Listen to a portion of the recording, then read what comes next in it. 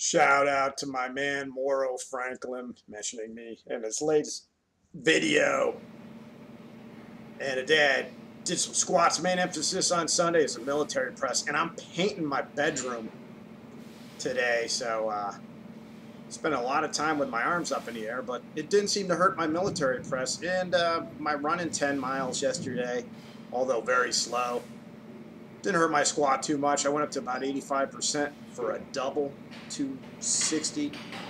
Did 305 earlier in the week, so that's, I guess, 85%.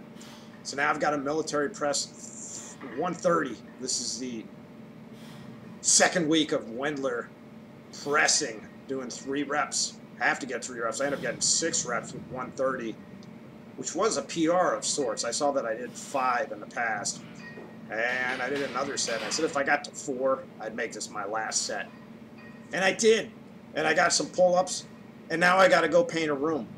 So uh, you don't have to always make your workouts uh, 10 mile runs or high volume uh, squat sessions or whatever. Sometimes you just get in the gym, get her done, and say goodbye.